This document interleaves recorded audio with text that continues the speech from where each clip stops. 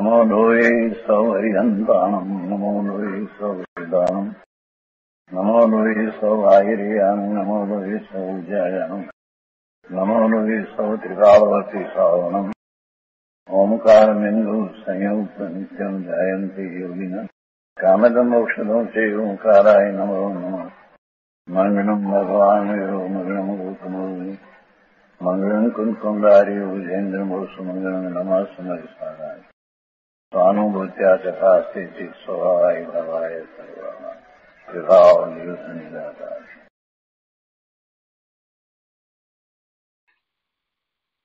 સમયસાર ભગવાન કુંકુંદાચાર્ય રચિત સમયસાર તથા ભગવાન અમૃતચંદ્રાચાર્ય રચિત આત્મખ્યાતિ ટીકા કળશ સહિત એનો સ્વાધ્યાય ચાલે છે એમાં પરિશિષ્ટમાં અમૃતચંદ્રાચાર્ય ભગવાન સુડતાલીસ શક્તિનું વર્ણન કરે છે. એનો સાથે આપણે કરી રહ્યા છીએ. દસમી શક્તિ. સર્વજ્ઞત્વ શક્તિ નો સ્વાધ્યાય લગભગ પૂરો થવા આવ્યો છે. પૂજ્ય ગુરુદેવના પ્રવચનમાંથી મહદ અંશો કર્યા છે. શેષ અંશો આજે લઈશું. સર્વજ્ઞત્વ શક્તિ. પ્રવચન રત્નાકર, ભાગ અગિયારમું, પાના નંબર ત્રેસઠ. એમાં ગુરુદેવે એમ કહ્યું કે પ્રવચનસારની ગાથા એસીમાં જે વાત કરવામાં આવી કે જે જાણતો અરહંતને, ગુણ, દ્રવ્ય અને પર્યાયપણે તે જીવ જાણે આત્મને તસુ મોહ પામે, લય કરે. એટલે કે જે જીવ અરહંતને, દ્રવ્યપણે, ગુણપણે અને પર્યાયપણે જાણે છે, તે પોતાના આત્માને જાણે છે અને તેનો મોહ અવશ્ય લય પામે છે. તો એમાં ગુરુદેવે એ વાત સમજાવી કે કઈ રીતે સમ્યક દર્શન થાય.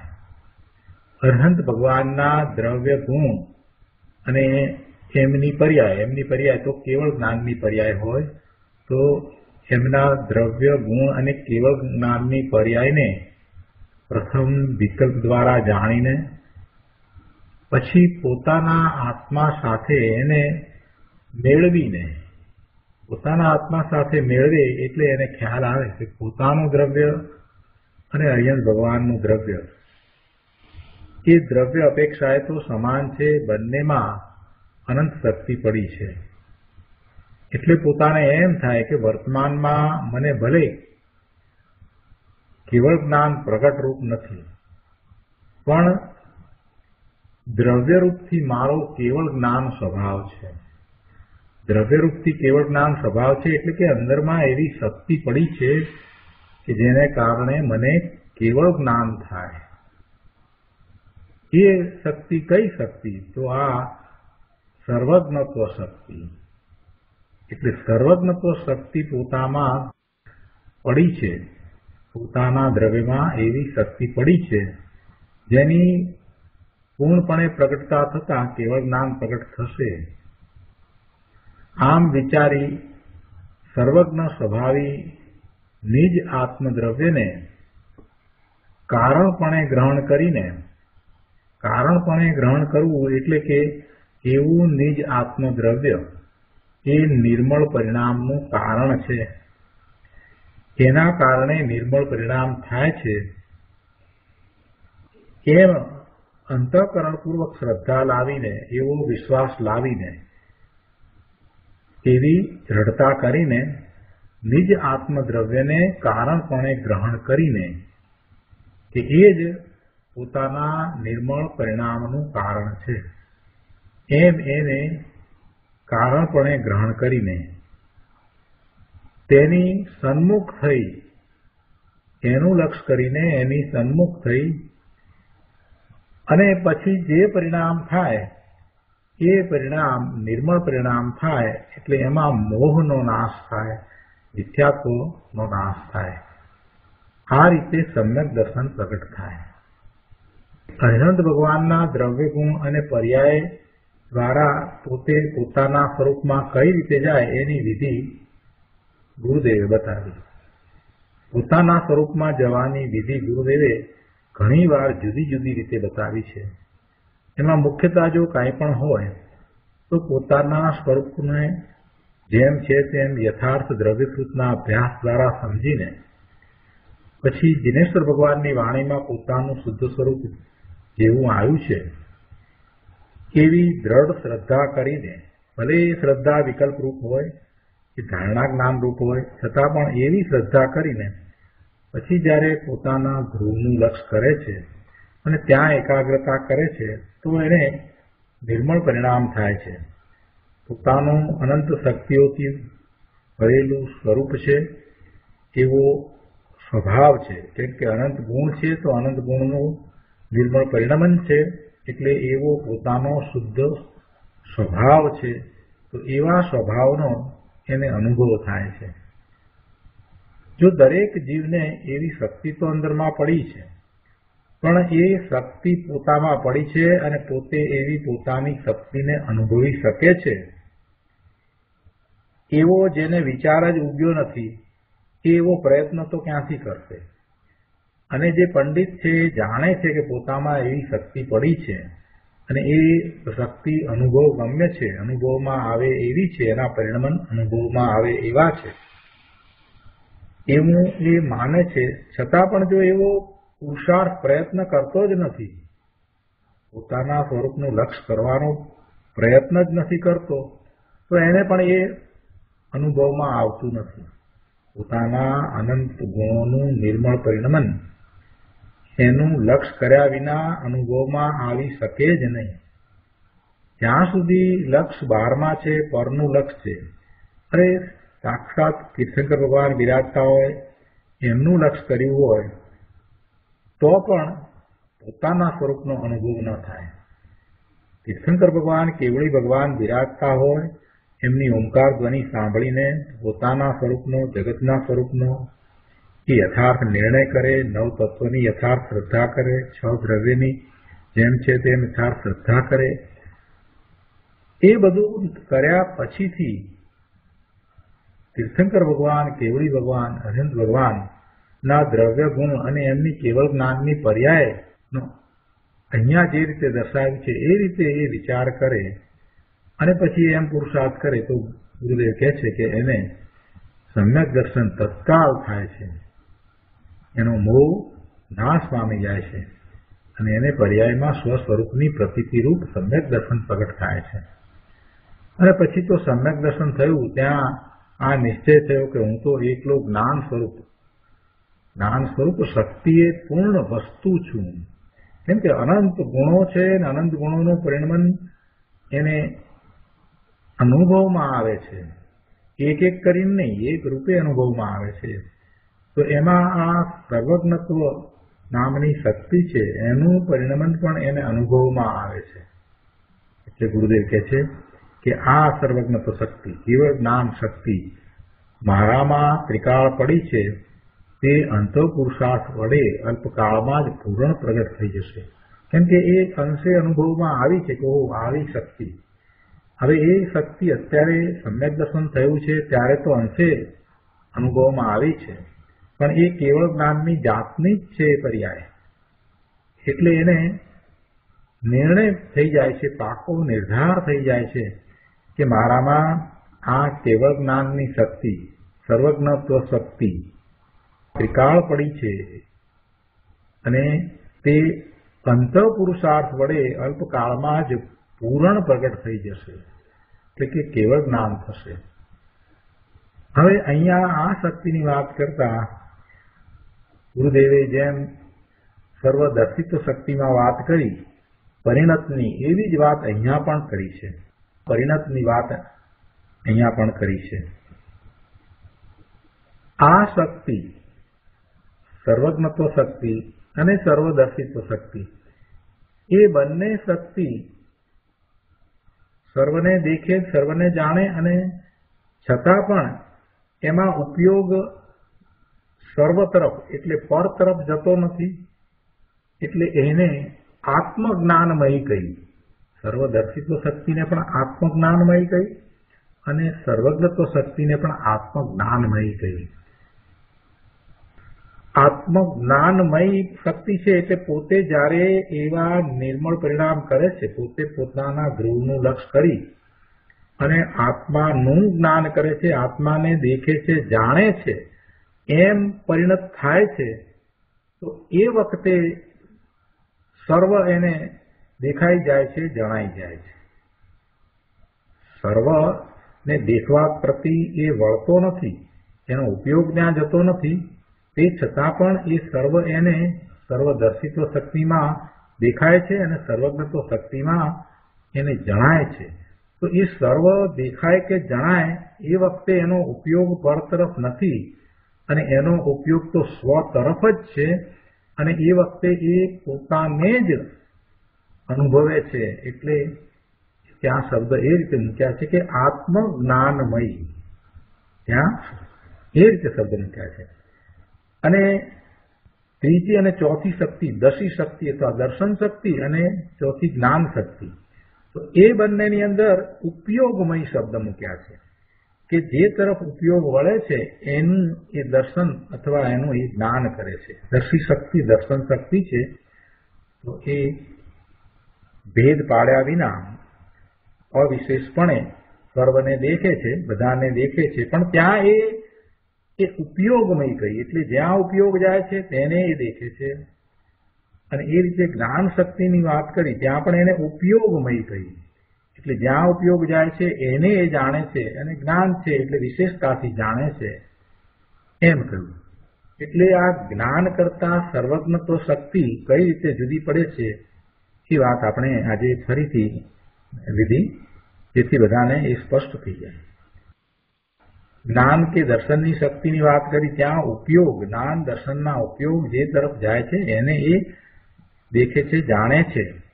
જ્યારે અહીંયા સર્વજ્ઞત્વની વાત કરી, તો સર્વજ્ઞત્વ અથવા તો સર્વદર્શિત્વની વાત કરી, તો એમાં ઉપયોગ સ્વ તરફ રહ્યા છે, એટલે એ આત્મજ્ઞાનમયી છે. બંને શક્તિ આત્મજ્ઞાનમય સર્વદર્શિત્વ શક્તિ અને સર્વજ્ઞત્વ શક્તિ બંનેમાં આત્મજ્ઞાનમય એમ શબ્દ મૂક્યા છે. એટલે કે એ એ દેખે છે, જાણે છે તો આત્માને, પોતાને, પોતાના તરફ એનું લક્ષ્ય થયું છે. એવું પરિણમન થવું, એવું પરિણત, એવું પરિણતપણું છે, ત્યારે એ સર્વને દેખે, જાણે છે. તો એ સર્વ દેખવે છે, સર્વ જાણે છે, એમાં એનો ઉપયોગ એ તરફ જતો નથી. એનો ઉપયોગ તો સ્વ તરફ જ રહ્યો છે, એ આત્મજ્ઞાનમયી જ છે. અને જ્યારે એમ પરિણમન થાય છે, આત્મજ્ઞાનમયી રૂપ પરિણમન થવું એટલે પોતાના સ્વરૂપને દેખવા જાણવા રૂપે થયું. એવું પરિણમન ચાલે છે એ જ વખતે, એ જ વખતે એ સર્વને, પરને બધાને દેખે છે, જાણે છે. એટલે પરિણતિ જ્યારે એવી થઈ છે, ત્યારે એ થાય છે. હવે આ આ વાત એને સમ્યક દર્શન થાય છે ત્યારે એને અંશે અનુભવમાં આવી જાય છે કે આવું સર્વજ્ઞત્વપણું અંદરમાં પડ્યું છે. એટલે કે પોતે શ્રદ્ધાપણે કેવળ જ્ઞાન ને યથાર્થ જાણી લે છે. શ્રદ્ધાપણે. હજી કેવળ જ્ઞાન તો તેરમા ગુણસ્થાને પ્રગટ થશે. પણ શ્રદ્ધાપણે કેવળ જ્ઞાન, કેવળ દર્શન જે તેરમા ગુણસ્થાને પ્રગટ થશે તે કેવા હશે અને એ છે એ વાત અહીંયા એને આ સર્વદર્શિત્વ અને સર્વજ્ઞત્વ શક્તિના અનુભવ કાળે એને જણાઈ જાય છે. એટલે અહીંયા ગુરુદેવે એમ કહ્યું કે પછી એ અલ્પકાળમાં જ પૂર્ણ પ્રગટ થઈ જશે. બીજ ઉગી છે તો પૂર્ણિમા થશે. એ ભાવ આખો ગુરુદેવે ત્યાં આપ્યો છે અને એમાં કહેવાનો આશય એવો છે કે એ સર્વજ્ઞપણું ને સર્વદર્શીપણું અંદરમાં ત્રિકાળ પડ્યું છે, માટે એ થાય છે. એ એવી શક્તિ અંદરમાં પડી છે. માત્ર જ્ઞાન અને દર્શનની શક્તિ છે એવું નહીં, પણ સર્વ જ્ઞાન અને સર્વ દર્શનની શક્તિ અંદરમાં પડી છે અને એ શક્તિ પ્રગટે છે ત્યારે એ સર્વ બીજા અન્ય પરને દેખવા જાણવા તરફ ઉપયોગ ન વળે, છતાંય એ દેખાય જણાય, સર્વ દેખાય જણાય એવી એ શક્તિ છે. બહુ મહત્વની વાત છે આ. તો એના પછીના પેરેગ્રાફથી હવે આજે આગળ સ્વાધ્યાય શરૂ કરીએ છીએ એમાં અહીંયા ત્રીજી લીટીમાં કહે છે કે સ્વરૂપ લક્ષે સમ્યક દર્શનનું પરિણમન થાય તેમાંય શુભભાવ છે નહીં જો અહીંયા શુભભાવની વાત કરી અને કહે છે ગુરુદેવ કે શુભભાવ તારા સ્વરૂપમાં નથી તારા દ્રવ્ય ગુણમાં નથી અને શક્તિનું જે નિર્મળ પરિણમન થાય તેમાં એ કોઈ શુભભાવ નથી. બહાર બધા શુભભાવથી ધર્મશાય લઈને બેઠા છે એટલે ગુરુદેવ એ વાત સમજાવે છે. અને કહે છે કે સ્વરૂપ લક્ષે સમ્યક દર્શનનું પરિણમન થાય, તેમાંય ક્યાંય શુભભાવ છે નહીં. એટલે શુભભાવ એમાં નથી. એટલું છે કે સમ્યક દર્શનની સાથે સર્વજ્ઞ શક્તિ પરિણત થતા, જે જ્ઞાનની દશા પ્રગટ થઈ તે જ્ઞાન તે કાળે જેવો જેવો રાગ છે તેને જાણે છે. વર્તમાન જ્ઞાનની પર્યાય એ સમયે બાકી રહેલો જે શુભભાવ છે એને પણ જાણે છે. તે જ્ઞાન તે કાળે સ્વ આશ્રિત પ્રગટ થયું છે.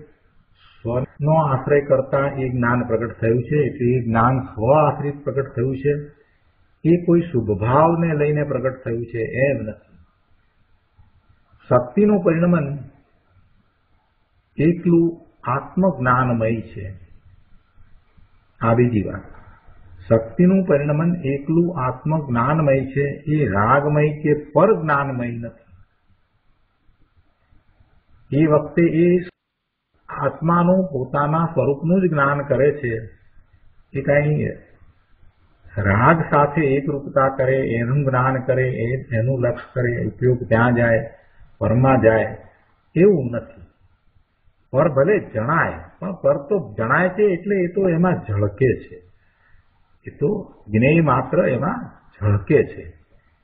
પણ કાંઈ એ જ્ઞેયો તરફ એ વળતો નથી. જ્ઞાન તો પોતે આત્માનું જ કરે છે. એટલે આત્મજ્ઞાનમય આ શક્તિ છે. એનું પરિણમન તો એકલું આત્મજ્ઞાનમય જ છે એ પરિણમન રાગમય કે પર જ્ઞાનમય નથી. પરનું જ્ઞાન કરવા વાળું કે પરિણમન નથી. જ્ઞાનીને રાગ આવે છે. નથી આવતો એવું નથી. હજી પૂર્ણ દશા નથી થઈ, ત્યાં સુધી એને સુખભાવ આવે છે.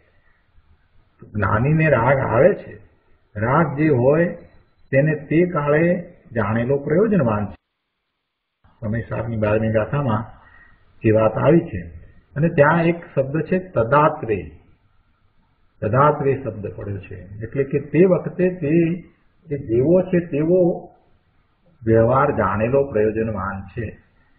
તો જ્ઞાની ધર્મી પુરુષને જે શુભભાવ આવે છે, રાગ આવે છે, તેને તે કાળે જાણેલો પ્રયોજનવાન છે. તે કાળે જાણેલો પ્રયોજનવાન છે એટલે અધૂરી દશા છે. તો એ વખતે આ હજી આટલી અધુરાશ છે, આટલો જે રાગ વાકી રહ્યો છે, એ બંધનું કારણ છે અને જેટલી શુદ્ધિ થઈ છે, નિર્મળતા પ્રગટ થઈ છે, એટલો મોક્ષ માર્ગ છે. એમ એ જાણેલો પ્રયોજનવાન છે? એટલે જેટલી અધુરાશ છે એને હજી ઉગ્ર પુરુષાર્થ દ્વારા એને દૂર કરવાની છે. અને પૂર્ણ શુદ્ધ દશા જ્યાં સુધી પ્રગટ ન થાય, ત્યાં સુધી એકાગ્રતાનો પુરુષાર્થ કરવાનો છે. એમ એ જાણેલો પ્રયોજનવાન છે. ગુરુદેવ એ વાતને અહીંયા સમજાવે છે કે એ ધર્મી જ્ઞાની પુરુષને રાગ આવે છે, તેને તે કાળે જાણેલો પ્રયોજનવાન છે, એટલે કે સ્વ પર પ્રકાશી જ્ઞાનની પર્યાય સહજ પોતાના સામર્થ્યથી જ તે કાળે પ્રગટ થાય છે. જ્ઞાનમાં જે સ્વભાવ છે એ એ વખતે એને જણાય છે. કેમ કે જ્ઞાનનો સ્વભાવ સ્વ પર પ્રકાશક છે એટલે સ્વ પર પ્રકાશી જ્ઞાનની પર્યાય સહજ પોતાના સામર્થ્યથી જ તે કાળે પ્રગટ થાય છે. અને એમાં પેલો જે શુભભાવ છે, રાગ છે તે જણાય છે. એટલે એ રાગ જણાય છે તો એ કઈ રાગને લઈને રાગનું જ્ઞાન થાય છે એમ નથી. એટલો બાકી રહ્યો છે રાગ એ એટલો જ જણાય છે છતાંય રાગને લઈને રાગનું જ્ઞાન થાય છે એમ નથી. પણ એ કાળે એવી જ્ઞાનની પર્યાય સહજ હોય છે કે જે રાગ બાકી રહ્યો છે એને જાણે છે. અને જાણે છે એ પ્રયોજનવાન એ રીતે છે કે હજી આટલો રાગ છે. આટલી અશુદ્ધિ છે. એટલે ત્યાં ઉદાહરણ પણ સોનાની ઓરનું આપ્યું છે ને, કે જેમ જેમ સોનાની ઓરને ગરમ કરતા જઈએ, ગરમ કરતા જઈએ, તેમ પછી ખ્યાલ આવે છે કે આમાં હવે શુદ્ધિ વધતી જાય છે. શુદ્ધ સોનું પૂર્ણ પ્રાપ્ત થતા સુધીમાં કેટલી બધી એની દશાઓ બદલાય છે. અને હજી આટલા ભાગ અશુદ્ધિ છે, આટલા ભાગ આટલા ભાગ ઓછી થતી થતી થતી પૂર્ણ શુદ્ધ સોનું થાય છે. તો એ બધી જે અશુદ્ધિ જે છે, એ હજી અશુદ્ધિ છે એમ એ જાણવી પડે. એ જાણીએ નહીં તો પછી આપણે અટકી પડીએ. તો પછી આગળ એને પૂર્ણ શુદ્ધ કરવાનો પુરુષાર્થ પછી કરીએ જ નહીં. એટલે એ કાળે એટલી અશુદ્ધિ છે, એમ શુદ્ધ સોનું મેળવવા માટે જ્યારે આપણે પ્રયત્ન કરીએ, ત્યારે એ જાણવું જોઈએ. તેવી જ રીતે પોતાનામાં રહેલી આ જે શુભભાવ આવી, જે વ્યવહાર છે, એને પણ એ કાળે, જ્યારે જેટલો જેમ છે, તેટલો જાણેલો એ રીતે એ પ્રયોજનવાન છે. એનો આદર કરવાની વાત નથી. એ દ્વારા કઈ જ્ઞાન થાય છે એમ નહીં. એ દ્વારા કઈ નિર્મળ પરિણામ થાય છે એમ નહીં. એના દ્વારા એ જણાય છે એમ પણ નથી. એટલે કે છે કે એ રાગને લઈને રાગનું જ્ઞાન થાય છે એમ પણ નહીં. પણ રાગનો તો જ્ઞાનમાં પછી એ અભાવ થવાનો જ છે, થાય જ છે. પણ વ્યવહારથી એ રીતે આપણે કહીએ છીએ કે વ્યવહાર છે એવો અને એ જાણેલું પ્રયોજનવાન છે. બારમી ગાથામાં કહ્યું, એ અગિયારમી ગાથાના અનુસંધાનમાં એ વાત કરી છે. અહીંયા કહે છે આગળ કે ભાઈ ખરેખર તો જ્ઞાનમાં તો એ રાગનો અભાવ જ છે અને ખરેખર તો જ્ઞાન પોતાની પરિણતિને જાણે છે. પોતાની પરિણતિને જાણે છે. એ રાગને જ્ઞાન જાણે છે એમ કહીએ, આપણે કહીએ છીએ ને કે વર્તમાન જ્ઞાનની પર્યાય એ વખતે જે રાગ છે એને જાણે છે, તો એ એમ કેવું એ એ વ્યવહાર છે. એ વ્યવહાર છે. જ્ઞાની જાણે છે તો પોતાની પરિણતિને જાણે છે. એટલે જ્ઞાન પોતાની પરિણતિને જાણે છે. જ્ઞાનીને જ્ઞાનની પર્યાય અલ્પજ્ઞ રૂપ છે અને તે કાળે તેને પર્યાયમાં રાગ પણ છે. હજી પૂર્ણતા નથી અલ્પજ્ઞ, એટલે હજી પૂર્ણ દશા પ્રગટ નથી કરી. પૂર્ણ શુદ્ધ દશા પ્રગટ નથી થઈ એવા જ્ઞાનીની વાત છે. તો એમને હજી પર્યાયમાં અલ્પજ્ઞતા હજી છે. તો તે કાળે તે પર્યાયમાં જે રાગ છે એ પણ છે. તો જ્ઞાન રાગને જાણે છે. એમ કહેવું તે વ્યવહાર છે. નિશ્ચયથી તો પોતે પોતાને, એટલે પોતાની પરિણતિને જ જાણે છે. ઘણી બધી સૂક્ષ્મ વાત ગુરુદેવે આપણને આ શક્તિના વર્ણનમાં સમજાવી દીધી કેવી છે શક્તિ? દરેક શક્તિ નું પરિણમન નિર્મળ જ છે અને નિર્મળ પરિણમન એનું જ્યારે થાય છે, ત્યારે સમ્યક દર્શન થાય છે. તે વખતે અનંત શક્તિઓ એક રૂપે અનુભવમાં આવે છે, એટલે કે એનું પરિણમન અનુભવમાં આવે છે. અને એમાં ક્યાંય રાગ નથી. અને જ્ઞાન એને જાણે છે તો જ્ઞાન એ એ તરફ લક્ષ કરીને જાણે છે એમ પણ નથી. એ વખતે બાકી રહેલો જે સુદભાવ છે એ એને જણાઈ જાય છે. અને નિશ્ચયથી તો પોતે પોતાને, પોતાની પરિણતિને જ જાણે છે. નિશ્ચયથી કેવળી ભગવાન પોતાની પરિણતિને જાણે છે. એમને તો પૂર્ણ દશા પ્રગટ થઈ છે, એટલે સર્વજ્ઞ થયા છે, તો સર્વજ્ઞ તો શક્તિ પૂર્ણપણે ખીલી ઉઠી છે. તો એ કેવડી ભગવાન પોતાની પરિણતિને જાણે છે. કેમ કે જ્ઞાન, જ્ઞાતા અને જ્ઞેય બધું આત્મા છે. બધું આત્મા છે.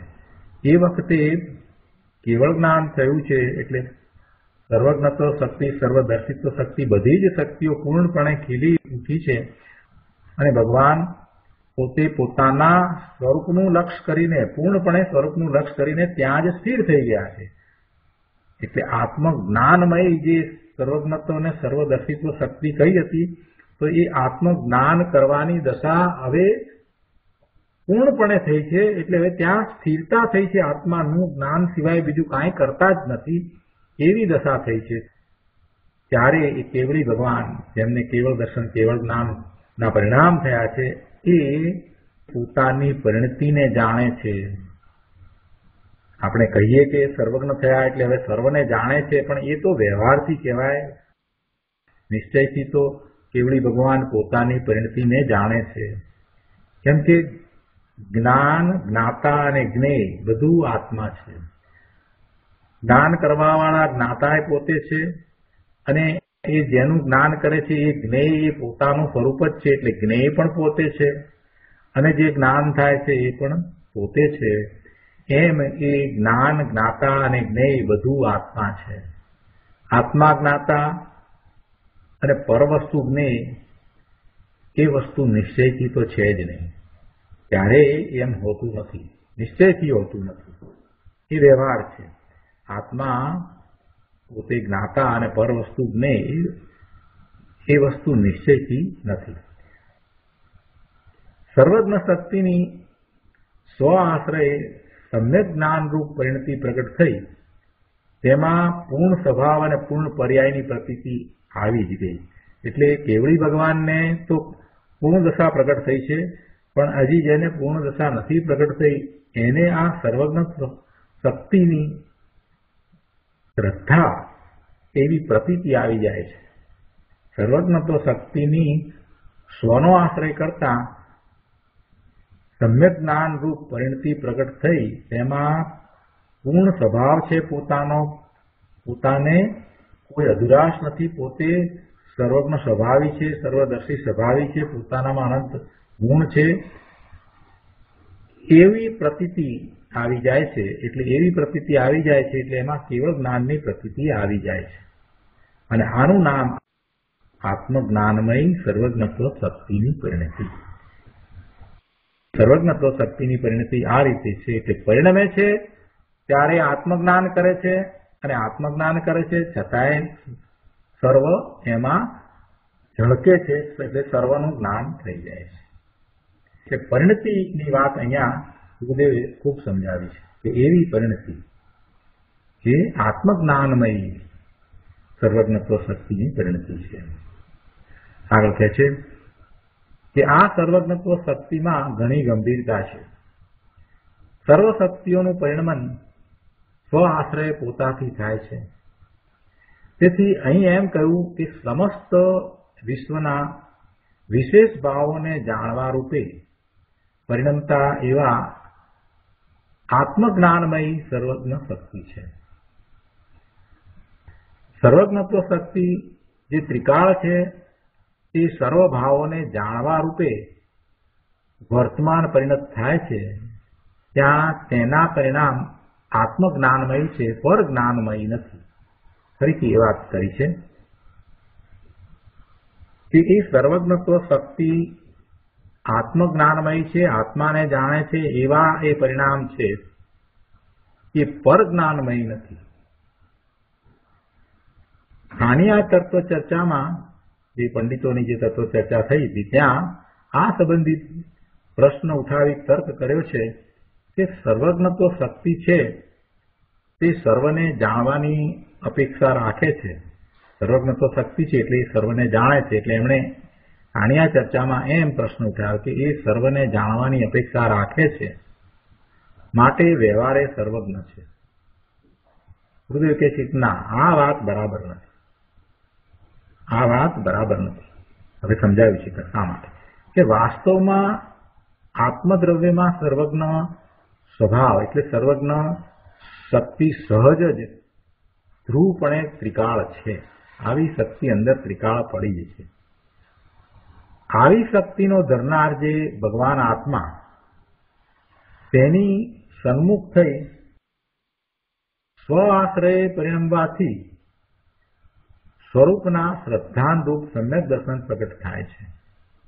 એ વખતે બધી શક્તિઓનું નિર્મળ પરિણમન હોય છે, એટલે એની સાથે બેજી અનંત શક્તિઓ સહિત સર્વજ્ઞ શક્તિ પણ નિર્મળ પરિણત થાય છે. એ વખતે બધી શક્તિઓની સાથે સર્વજ્ઞ શક્તિ પણ નિર્મળ પરિણત થાય છે. ત્યારે જ્યારે સ્વ આશ્રય નિર્મળ પરિણામ થાય છે, સ્વરૂપનું લક્ષણ કરતા સ્વરૂપના શ્રદ્ધા જ્ઞાન સમ્યક દર્શન પ્રગટ થાય છે ત્યારે. એ વખતે સર્વજ્ઞત્વ શક્તિનો અનુભવ થયો એટલે શ્રદ્ધાપણે કેવળ જ્ઞાન પ્રગટ થયું એમ કહેવામાં આવે છે. કેવળ જ્ઞાન સાક્ષાત નથી થયું, પણ શ્રદ્ધાપણે કેવળ જ્ઞાન પ્રગટ થયું એમ કહેવામાં આવે છે. કેમ કે એ વખતે સર્વજ્ઞત્વ શક્તિનું પણ પરિણમન અનુભવમાં આવે છે. સાક્ષાત પરિણમન રૂપ કેવળ જ્ઞાન થયું એમ નહીં સર્વજ્ઞત્વ શક્તિની પ્રતીતિ થઈ તો શ્રદ્ધાપણે કેવળ જ્ઞાન થયું એમ કહેવાય છે. પહેલા આત્મા અલ્પજ્ઞ જ છે અર્થાત સર્વજ્ઞ શક્તિ નથી, એવી દ્રષ્ટિ હતી, એવી માન્યતા હતી તે મિથ્યા માન્યતા હતી. હવે સ્વસન્મુખ તે પરિણમતા સર્વજ્ઞ સ્વભાવી હું છું એમ નિશ્ચય થયો, તો દ્રષ્ટિ સમ્યક થઈ, શ્રદ્ધા સમ્યક થઈ. સર્વજ્ઞત્વ શક્તિ છે, તે સર્વને જાણવાની અપેક્ષા રાખે છે, માટે વ્યવહારે સર્વજ્ઞ છે એમ જે ખાણિયા ચર્ચામાં જે કહ્યું, એ આ રીતે બરાબર નથી. આ રીતે એક ખોટું પડે છે. કેમ કે સર્વજ્ઞત્વ શક્તિ પરિણત થતા તે તો આત્માને જ જાણે છે, એટલે આત્મજ્ઞાનમય જ છે. પણ સર્વને, પરને જાણવાની એ વિવક્ષા કરતા વ્યવહાર પ્રગટ થાય છે. અહીં એ સર્વને જાણવા તરફ જાય છે એમ નથી. એમાં સર્વજ્ઞ શક્તિમાં સર્વને જાણે છે તો ઉપયોગ બહારમાં જતો નથી. અને એ તો આત્મજ્ઞાનમય જ છે. આત્માને જ જાણે છે. પણ એમાં સર્વ જણાઈ જાય છે, એ વાતનો આપણે વિચાર કરીએ છીએ, એ વાતનો વિસ્તાર આપણે કરીએ છીએ, એવી વિવક્ષા આપણે કરીએ છીએ. મૂળ વાત શું છે કે જ્યારે એ પોતે ધ્રુવનું લક્ષ કરે છે ને બધી શક્તિઓનું પરિણમન એ વખતે નિર્મળ પરિણમન થાય છે તો સર્વજ્ઞત્વ શક્તિનું પરિણમન પણ એ વખતે થાય છે.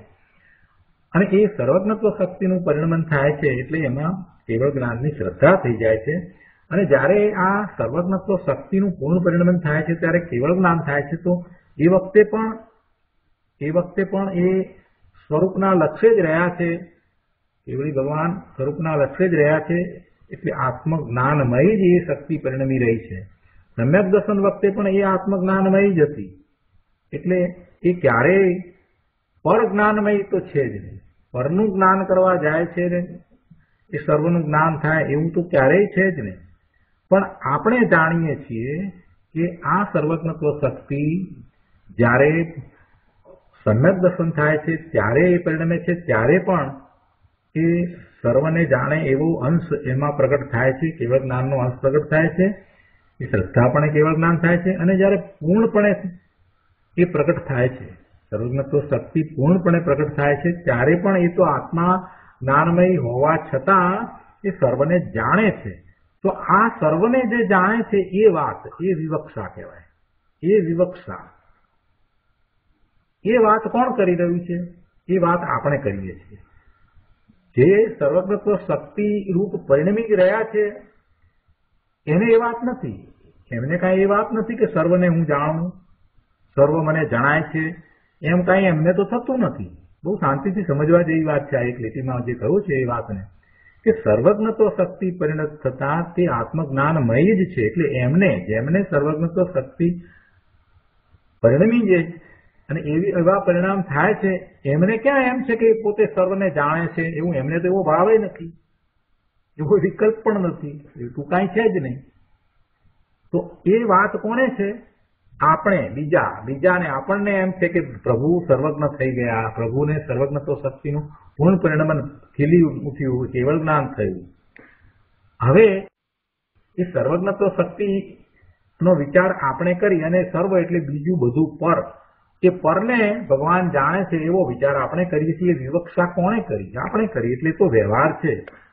ગુરુદેવ એમ કે છે કે એ સર્વ ને એટલે પરને જાણવાની વિવક્ષા કરતા એવો વ્યવહાર પ્રગટ થાય છે.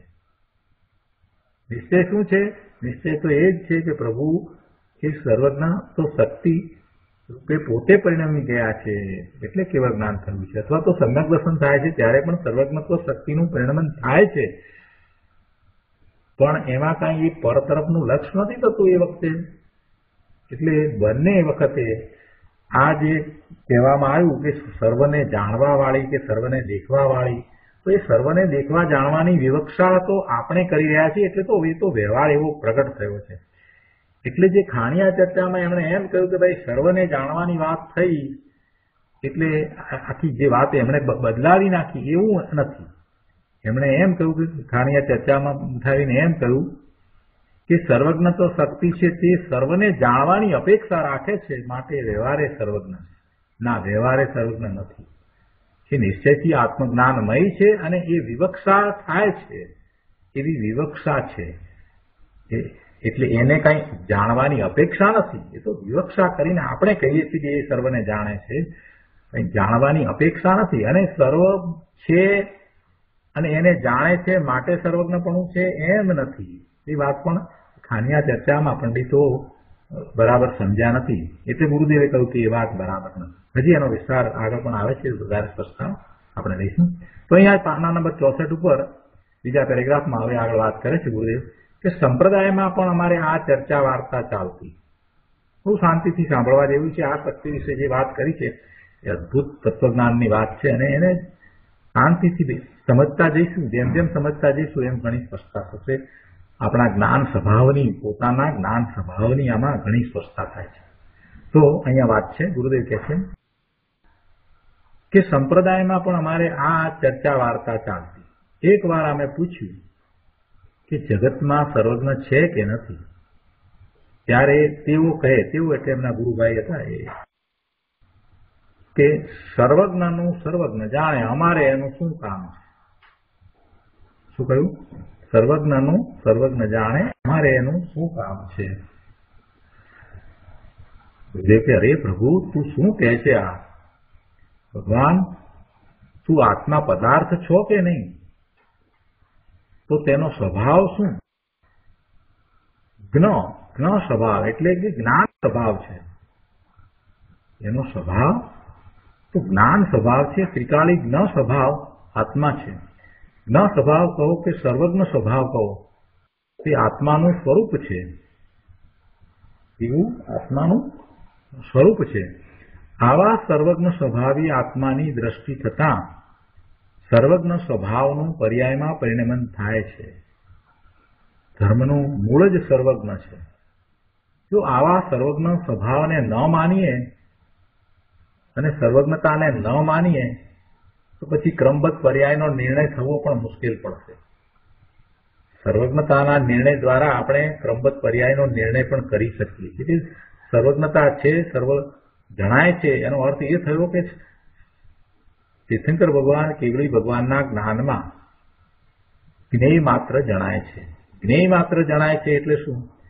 કે જે જે જણાઈ શકે તે બધું જ એમાં જણાય છે. એ જ્ઞેય માત્ર જણાય છે. જ્ઞેય માત્ર જણાય છે એટલે કોઈ એવું નથી કે જે એમાં ન જણાય. જેમાં પ્રમેત્વ નામનો ગુણ છે એ બધું જ જ્ઞેય છે. તો એ દરેક વસ્તુ જણાય છે એટલે એમાં તો એમ કહી દીધું કે જગત આખાના બધા જ પદાર્થોની ત્રણેય કાળની બધી જ પર્યાયો પણ એમાં જણાય છે. અને બધી પર્યાય એમાં જણાય છે આવું સર્વજ્ઞત્વ પણ. જ્યારે આપણે સ્વીકારીએ તો એનો અર્થ એ થાય કે બધી પર્યાયો નિશ્ચિત હોવી જોઈએ, નક્કી હોવી જોઈએ. એનો કાળ, ક્રમ બંને નક્કી હોવા જોઈએ. એટલે એમ કરતા આપણે ક્રમબદ્ધ પર્યાયનો નિર્ણય કરીએ છીએ. એટલે સર્વજ્ઞતાને સ્વીકારીશું નહીં તો ક્રમબદ્ધ પર્યાયનો નિર્ણય જે તર્ક દ્વારા થાય છે એ પણ નહીં થાય. અને મૂળ વાત તો એ છે કે સર્વજ્ઞતા એ તો આત્માનો ગુણ છે. એના ગુણનો સ્વીકાર ન કરીએ તો પછી આત્માનો સ્વીકાર નથી થતો. ગુરુદેવ એ વાત અહીંયા કરી રહ્યા છે. અને આપણે તો ક્રમબદ્ધ પર્યાયનો વિચાર કરીએ તો એ પણ ક્રમબદ્ધ પર્યાયનો નિર્ણય નથી થતો ને ક્રમબદ્ધ પર્યાયનો નિર્ણય જે તર્ક દ્વારા કરી અને પછી આપણને જે અકર્તા ભાવ આવે છે કે પર્યાય બધી ક્રમબદ્ધ છે, નિશ્ચિત છે, નક્કી છે, એનો ક્રમ અને કાળ નક્કી જ છે, તો પછી બારમાં મારું પરમાં કાંઈ કરતાપણું છે જ નહીં, એમ અકર્તા ભાવ તરફ જવાય છે. અને અકર્તા ભાવ આવે છે એટલે એ એ જીવ પોતે સ્વ તરફ વળે છે.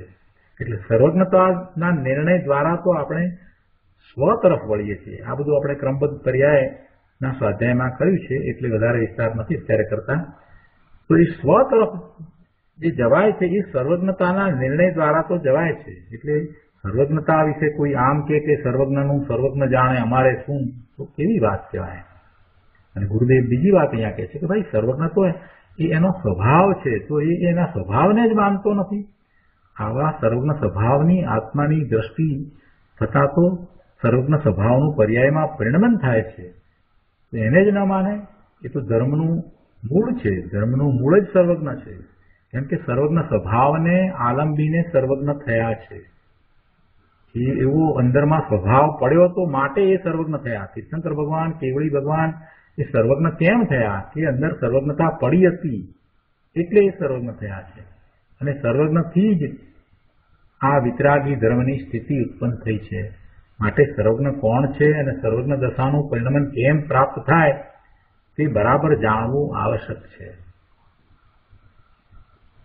આગળ કહે છે, ત્રિકાળ સર્વજ્ઞ સ્વભાવ વિશે બે મત છે. શ્વેતાંબરમાં જે માન્યતા છે એ પણ અહીંયા ગુરુદેવે લીધી છે અને સ્પષ્ટતા કરી છે. શ્વેતાંબર મતવાળા કહે છે કે કેવળ જ્ઞાન સત્તા સ્વરૂપ છે એટલે પર્યાયની વાત છે. કે કેવળ જ્ઞાન પર્યાય રૂપે સત્તામાં પ્રગટ રૂપ છે.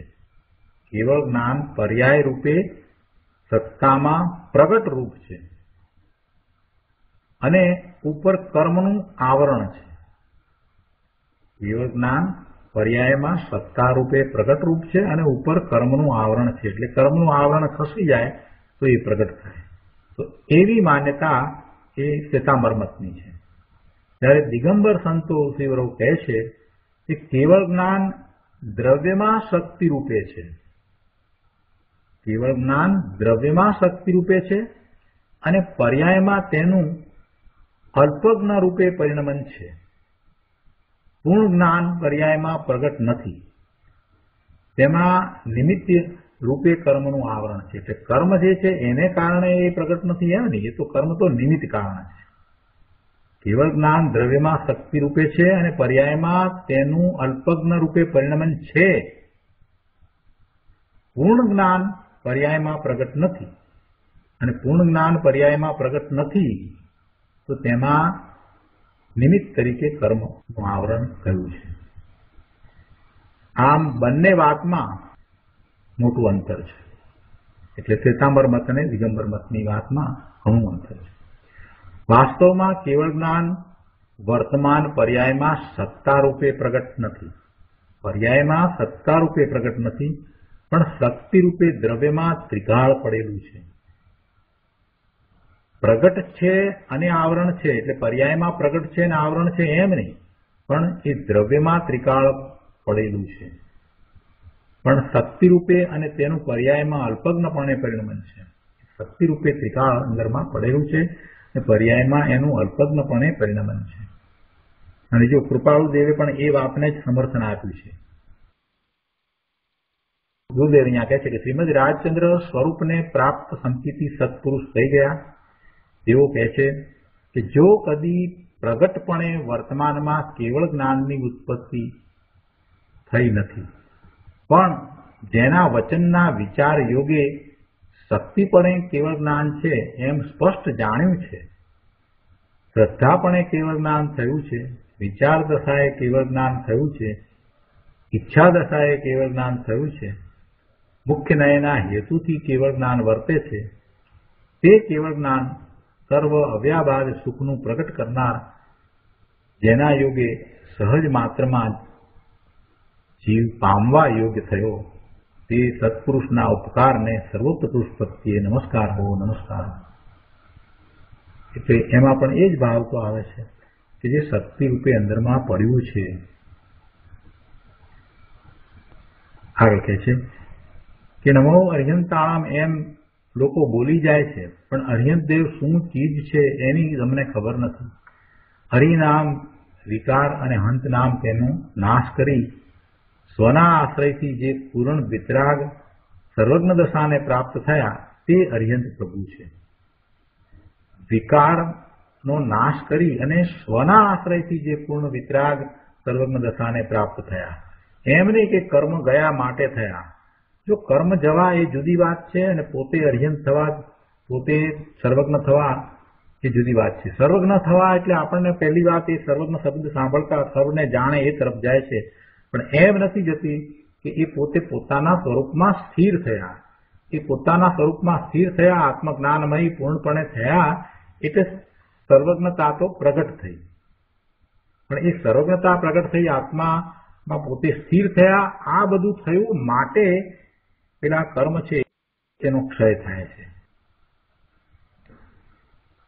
ગુરુદેવ વધારે સમજાવે છે કે હવે જેને અરિહંત દશા પ્રગટ નથી પણ હું સર્વજ્ઞ સ્વરૂપી અખંડ એક આત્મદ્રવ્ય છું. એમ પ્રતીકમાં આવ્યું, એમ શ્રદ્ધામાં આવ્યું, એને શ્રદ્ધાપણે કેવળ જ્ઞાન થયું.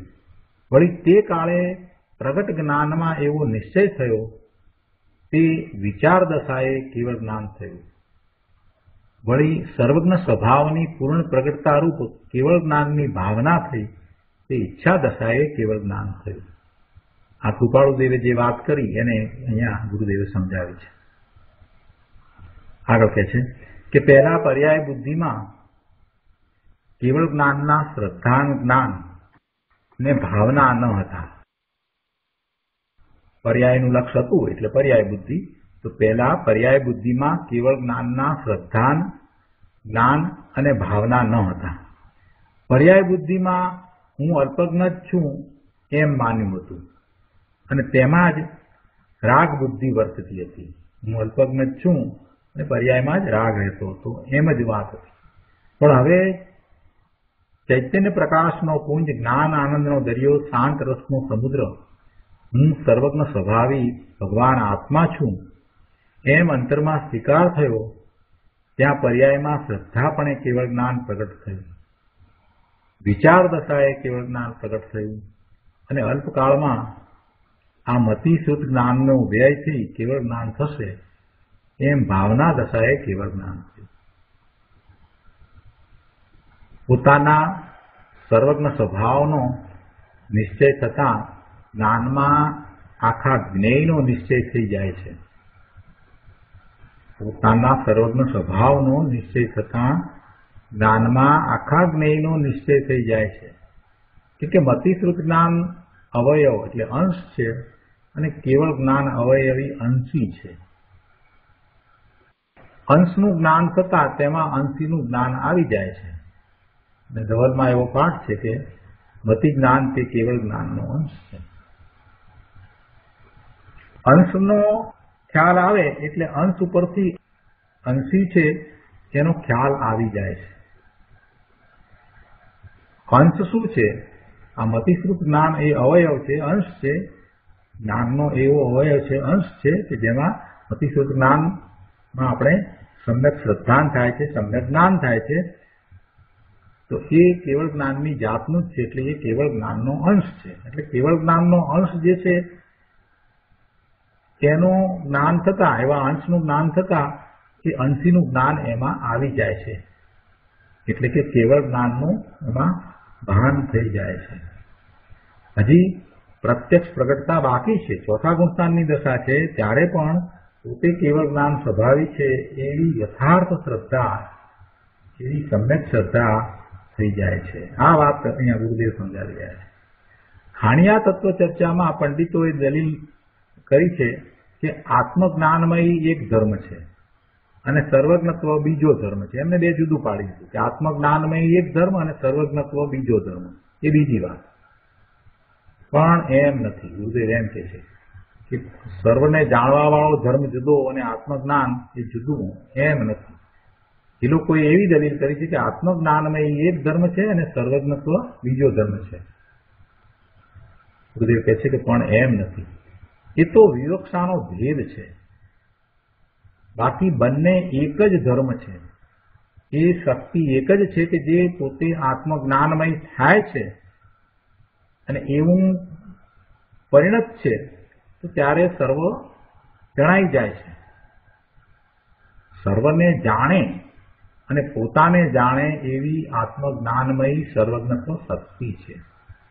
સ્વ આશ્રિત સર્વજ્ઞ દશા પ્રગટ થઈ છે. સ્વને આશ્રય આવી સર્વજ્ઞ દશા પ્રગટ થઈ છે. તેમાં પરની રંચ માત્ર અપેક્ષા નથી. પરની જરાય અપેક્ષા નથી. સર્વને જાણે છતાં સર્વમાંથી એક પણ ની અપેક્ષા નથી. હોય તો એને જાણે એમ નથી. હજી જે પર્યાયો થઈ જ નથી, ભવિષ્યમાં થવાની છે, એને એ જાણે, તો કઈ રીતે જાણે? એટલે એનો અર્થ જ એ છે કે એની એને અપેક્ષા નથી. સર્વજ્ઞત્વ શક્તિને, કે જે સ્વ આશ્રિત દશા છે, એને પરની રંજ માત્ર અપેક્ષા નથી. સર્વજ્ઞ પણ કહો કે આત્મજ્ઞાન પણ કહો? બંને એક જ ચીજ છે. સર્વજ્ઞપણું આત્મજ્ઞાનપણાથી જુદું નથી. આત્મજ્ઞાનપણું થયું છે તો સર્વજ્ઞપણું સાથે હોય છે. કે જુદું નથી એ તો જણાઈ જાય છે. કેમ કે એમાં સર્વને જાણવા પ્રત્યે ઉપયોગ જતો જ નથી. જે આત્મજ્ઞાનપણું છે એને આત્માને જાણે છે એને પછી પરત તરફ ઉપયોગ ક્યાંથી જાય? આ તો સહેલાઈથી સમજાય એવું છે. એટલે ગુરુદેવે જે કહ્યું એ વાત બિલકુલ બેસી જાય એવી છે કે સર્વજ્ઞપણું અને આત્મજ્ઞાનપણું એ બંને એક જ ચીજ છે. એ કઈ બે જુદા જુદા ધર્મ છે એ બને જ નહીં. સર્વજને જાણવા જાય તો તો એનો અર્થ એ થયો કે સર્વને જાણવા પ્રત્યે એમનો ઉપયોગ ગયો તો તો એવો ઉપયોગ એમને પર તરફ શા માટે જાય? જેને એ આત્મજ્ઞાનપણું હોય, આત્માને જ જાણતા હોય, એને પછી પર તરફ ઉપયોગ શા માટે જવો જોઈએ? અને એવો ઉપયોગ કે જે સર્વને જાણી લે એવો ઉપયોગ? સર્વને જાણવા માટેનો ઉપયોગ કેવો હોય? એટલે આ વાત કંઈ બેસતી નથી. એ જે પંડિતોની દલીલ જે છે એ બિલકુલ તર્કસંગત પણ નથી અને ખોટી છે. બિલકુલ ખોટી છે. એ સાચી નથી. સુખદેવે જે વાત અહીંયા કરી છે, એ વાત બિલકુલ બરાબર કરી છે કે સર્વજ્ઞપણું કહો કે આત્મજ્ઞાનપણું કહો બંને એક જ ચીજ છે. એટલા માટે કહે છે કે ભાઈ સમજાય એટલું સમજો. કેમ કે પંડિતોને એ વાત નથી સમજાય તો કહેવું? પણ સમજાય એવું છે આ તો. આવું જ વસ્તુ સ્વરૂપ છે. કેવળ જ્ઞાન લેવાની આત્માની તાકાત છે. એને પરની કિંચિત અપેક્ષા નથી. જરાય અપેક્ષા નથી પરની. પોતાના સ્વભાવમાં જે વસ્તુ પડી છે, એને પ્રાપ્ત કરવા માટે પોતે સક્ષમ છે. અંદરમાં સર્વજ્ઞ શક્તિ પડી છે, તો એની પૂર્ણ પ્રગટતા થાય એવો એ સક્ષમ છે. કેવળ જ્ઞાનની પર્યાય વિશ્વના સર્વ ભાવોને જાણે માટે તેમાં પરની અપેક્ષા છે એમ ખરેખર નથી. પરને જાણવા માટે પરની અપેક્ષા નથી. એક સમયમાં તે કાળે થવા યોગ્ય કેવળ જ્ઞાનની પર્યાય પોતાના કારણે પ્રગટ થઈ છે. પૂર્વના ચાર જ્ઞાનનો અભાવ થઈને કેવળ જ્ઞાન પ્રગટ્યું એમ કહેવું એ વ્યવહાર છે. વાસ્તવમાં સર્વજ્ઞપણું એ આત્મજ્ઞપણું છે. આવી વાત છે. આગળ પાસઠમાં પાના ઉપર બીજા પેરેગ્રાફમાં ચોથી લીટીમાં કહે છે કે તારામાં સર્વજ્ઞ શક્તિનું સામર્થ્ય ભર્યું છે. અને કેવી છે સર્વજ્ઞ શક્તિ? તો કહે છે કે વિશ્વના સર્વ ભાવોને જાણવારૂપ એવા આત્મજ્ઞાનમય સર્વજ્ઞ શક્તિ છે. આત્મજ્ઞાનમય કહો કે સર્વજ્ઞત્વ શક્તિ કહો, એક જ વાત છે. લોકોને વાત બેસે નહીં, એટલે વિરોધ કરે અને બીજી રીતે કહે, પણ આ જ સત્ય વાત છે. જેના ફળમાં અનંત કેવળ જ્ઞાન અને અનંત અતિન્દ્રિય આનંદ પ્રગટે તે ચીજ કેવી હોય અને તેનો ઉપાય પણ કેવો હોય? એટલે પરમપદ પ્રાપ્તિની ભાવના કરતા શ્રીમદજીએ કહ્યું છે કે સાદી અનંત અનંત સમાધિ સુખમાં અનંત દર્શન, જ્ઞાન, અનંત સહિત જો અપૂર્વ અવસર એવું ક્યારે આવશે? કેવળ જ્ઞાન નવું પ્રગટ થાય છે માટે સ આદિ એટલે સાદી. સ આદિ આદિ સહિત છે અને તેનો અંત નથી માટે અનંત છે. સાદી, અનંત અનંત સમાધિ સુખમાં. અનંત દર્શન, જ્ઞાન, અનંત સહિત જો અપૂર્વ અવસર એવું ક્યારે આવશે? આ પ્રમાણે કેવળ જ્ઞાનનો કાળ સાદી અનંત છે, સાદી અનંત છે. અનંત કાળ પર્યંત સર્વજ્ઞદેવ સમાધિ સુખમાં લીન તલ્લીન રહે છે. આગળ પાંચમા પેરેગ્રાફમાં કહે છે કે ભગવાન આત્મા આ શરીરના રજકણથી જુદો ભિન્ન, અચેતન કર્મથી પણ ભિન્ન, પુણ્ય પાપરૂપ ભાવ કર્મથી પણ ભિન્ન અને અલ્પજ્ઞપણાની દશાથી ભિન્ન. અખંડ એક રૂપ સર્વજ્ઞ સ્વરૂપ વસ્તુ છે. તે સ્વાનુભૂતિમાં પ્રાપ્ત થાય છે. પણ રાગની ક્રિયાથી કે વ્યવહાર કરતા કરતા પ્રાપ્ત થાય એવું એનું સ્વરૂપ નથી. વ્યવહાર રત્નત્રય પણ શુભ વિકલ્પ છે અને તે કરતા કરતા સમ્યક દર્શન અને કેવળ જ્ઞાન પ્રગટ થાય એમ બનવા જોગ નથી. કેમ કે પોતાની વસ્તુ એવી નથી. અહીં તો કહે છે કે સમ્યક દર્શન થતાં એવી પ્રતીતિ થઈ જાય છે કે હું સર્વજ્ઞ શક્તિમય છું અને તેની પરિણતિ પોતાથી ઉત્પન્ન થાય છે. એને લોકાલોકની કોઈ અપેક્ષા નથી. આગળ કહે છે કે અરે ભાઈ, તું કોણ છો? તારા સ્વરૂપની તને ખબર નથી. સમયસારની જયસેન આચાર્ય ટીકામાં આવે છે કે કોઈ એક ભાવ જો યથાર્થ બેસી જાય કોઈ એક ભાવ પણ જો યથાર્થ બેસી જાય તો આખી વસ્તુ યથાર્થ ખ્યાલમાં આવી જાય દ્રવ્ય ગુણ પર્યાય સર્વદર્શિત્વ શક્તિ સર્વનત્વ શક્તિ ઇત્યાદિ કોઈ એક ભાવ બરાબર લક્ષમાં બેસી જાય તો વસ્તુ આખી લક્ષગત થઈ જાય અને સમ્યક દર્શન થઈ જાય અહીં એમ બતાવવું છે કે આત્મજ્ઞાનમય અને સર્વજ્ઞત્વ શક્તિ એ બે ચીજ નથી. બંને થઈને એક જ ચીજ છે. આત્મજ્ઞાનમય સર્વજ્ઞત્વ શક્તિ તે નિશ્ચય છે ને લોકાલોકને જાણે એમ વિવક્ષા ભેદ કરવો તે વ્યવહાર છે. અહીં સર્વજ્ઞ શક્તિના પ્રકરણમાં નિશ્ચય છે તે મુખ્ય છે. આગળ છાસઠમાં પાના ઉપર ત્રીજા પેરેગ્રાફમાં ગુરુદેવ કહે છે કે શુદ્ધ ચૈતન્ય સ્વરૂપ ભગવાન આત્મા પૂર્ણ આનંદનો નાથ પ્રભુ અને સિદ્ધ પરમાત્મા તે શુદ્ધ જીવ છે. કોણ? શુદ્ધ ચૈતન્ય સ્વરૂપ ભગવાન આત્મા. શુદ્ધ ચૈતન્ય સ્વરૂપ ભગવાન આત્મા પૂર્ણ આનંદનો નાથ પ્રભુ. આત્માની વાત છે અને સિદ્ધ પરમાત્મા. તે શુદ્ધ જીવ છે. તે બંનેને સુખ પણ છે, જ્ઞાન પણ છે. અને તેમને જાણનાર જીવને પણ સુખ છે અને જ્ઞાન પણ છે. પરંતુ શુદ્ધ જીવને જાણ્યો ક્યારે કહેવાય? કે ભગવાન સિદ્ધ પરમાત્મા જેમ શુદ્ધ છે, તેમ મારો ભગવાન આત્મા પણ ત્રિકાળ શુદ્ધ છે. આ ત્રિકાળી શુદ્ધની દ્રષ્ટિ કરી પરિણમવાથી તે સ્વદ્રવ્યની સન્મુખ થઈને તેના આશ્રય પરિણમવાથી સ્વાનુભવની દશા પ્રગટ થાય. નિર્મળ શ્રદ્ધા જ્ઞાન પ્રગટ થાય છે અને ભેગી અતિન્દ્રિય સુખના આસ્વાદરૂપ દશા પ્રગટે છે. આગળ કહે છે કે નાટક સમયસારમાં છે કે વસ્તુ વિચારત ધ્યાવતી મન પાવઈ વિશ્રામ રસ સ્વાદત સુખ ઉપજઈ અનુભવતા કોના. આવી સ્વાનુભવની દશા પ્રગટ કરે ત્યારે શુદ્ધને જાણ્યો કહેવાય. શુદ્ધ જીવમાં સુખ છે, જ્ઞાન છે, માટે તેના જાણનારને પણ સુખ અને જ્ઞાન છે. પ્રશ્ન કર્યો કે સિદ્ધને જાણતા સુખ છે કે નહીં? એ પ્રશ્ન કર્યો. બુદ્ધે કહે છે કે હા, સિદ્ધને જાણતા સુખ છે, પણ સિદ્ધને જાણ્યા ક્યારે કહેવાય? કે પોતાનો સ્વભાવ સદા સિદ્ધ સમાન શુદ્ધ છે, એમ નિશ્ચય કરી, સ્વભાવ સન્મુખ થઈ તેનો અનુભવ અને પ્રતીતિ કરે ત્યારે સિદ્ધને જાણ્યા કહેવાય અને સાથે એવો અનુભવ થાય ત્યારે સાથે અતિન્દ્રિય સુખનો આસ્વાદ હોય છે. અને આવું છે તો પછી સ્વદ્રવ્યને જાણવાની શી જરૂર? કોઈ પાછો પ્રશ્ન કર્યો. કહે છે કે ભાઈ, પરદ્રવ્યને જાણવા જાય એ તો વિકલ્પ છે. પરદ્રવ્યને જાણવા જાય એ તો વિકલ્પ છે. એટલે કહ્યું ને કે સિદ્ધને જાણ્યાથી સુખ નથી, પણ સિદ્ધને જાણ્યા પછીથી પોતાનો સ્વભાવ પણ એવો સિદ્ધ સમાન છે અને એવા પોતાના સ્વભાવને સ્વની સન્મુખ થઈ અને એની પ્રતિતિ કરે, અનુભવમાં લે, ત્યારે એને આનંદ આવે છે. માત્ર સિદ્ધને જાણવાથી આનંદ આવે એટલી વાત નથી. એટલે કે છે કે પરદ્રવ્યને જાણવા જાય એ તો વિકલ્પ છે. અને વિકલ્પ છે એ તો દુઃખ જ છે. મુક્ત ભાવની ગાથામાં આચાર્યદેવ કહે છે કે પરદવાઓ દુબઈ. પરદ્રવ્યની દ્રષ્ટિ કરતા દુઃખ જ થાય છે. પરદવાઓ દુબઈ.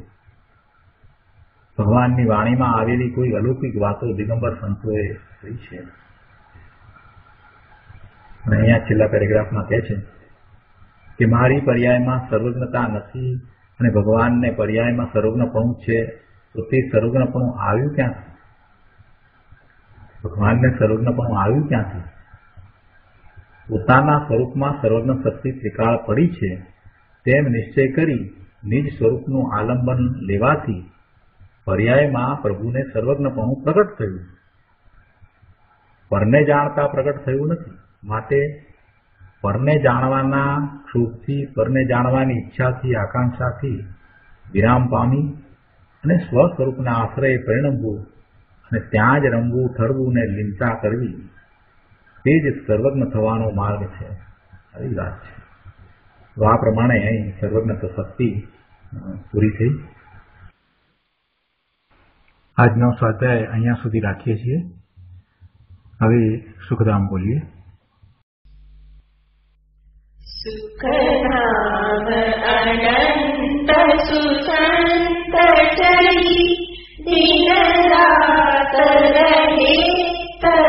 जानमयि प्रदाियन